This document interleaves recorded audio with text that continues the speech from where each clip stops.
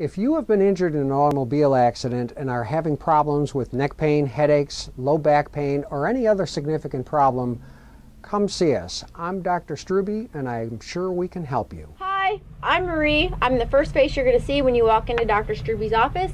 I'm here to help you with any insurance questions, any questions that you have. I've been here for 23 years. I probably can answer most of them. And if there's one that I can't answer for you, I will do my best to help you find the answer that you're looking for.